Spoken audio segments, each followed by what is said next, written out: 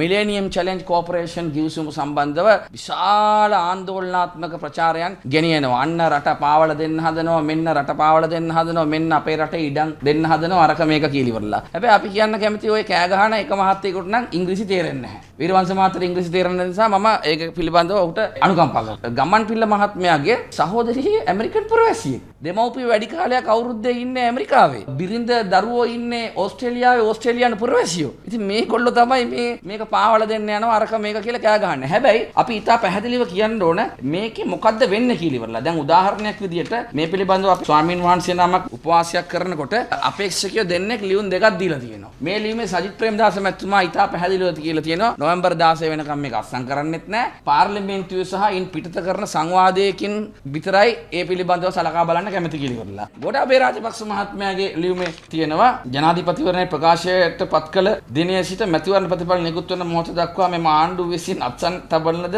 සියලු ගිවිසුම් ජාතික ආරක්ෂා ස්වෛරීභාවය ජාතික අවශ්‍යතාවයන් යටත්ව නැවත සලකා බැලීමටත් ජාතික උමනාවන් වලට පටහැනි නම් මේවා අවසි කිරීම කටයුතු කරන බවත් වග බලා ගන්නෙමි. එතන මේ පාර්ලිමේන්තුව අනුමැතිය ගන්නවා කියලා නෑ. මේක හරියට අනේ අපේ ආර්ථිකයට හොඳයි කියලා ශැංග්‍රිලා හෝටලේට යුද හමුදා මූලස්ථානය සින්නක් කරව ලබා දුන්නා වගේ කොම්පඤ්ඤ වීදියේ ඉඩම් ටික ඉන්දියන් ටාටා සමාගමට නිකන් ලබා දුන්නා වගේ තමාගේ හිතුමනාපෙන් වැඩ කරනවා කියලා කියලා තියෙන්නේ. ගෝඨාභය රාජපක්ෂ මහත්මයාට ඒක කරන්න නැහැ කියලා කියන්න බෑ. එතුමා ආවම මිලේනියම් කෝපරේෂන් චැලෙන්ජ් මේ වැඩසටහන ක්‍රියාත්මක කරනවා. මොකද හේතුව එතුමාගේ ප්‍රතිපත්ති ප්‍රකාශනයේ තියෙනවා 56 වෙනි පිටුවේ තියෙනවා භෞතික අවකාශ භාවිතයේ නව ප්‍රවේශ කියලා ඉවරලා. දැන් මේක තමයි මිලේනියම් චැලෙන්ජ් එකේ තියෙන්නේ.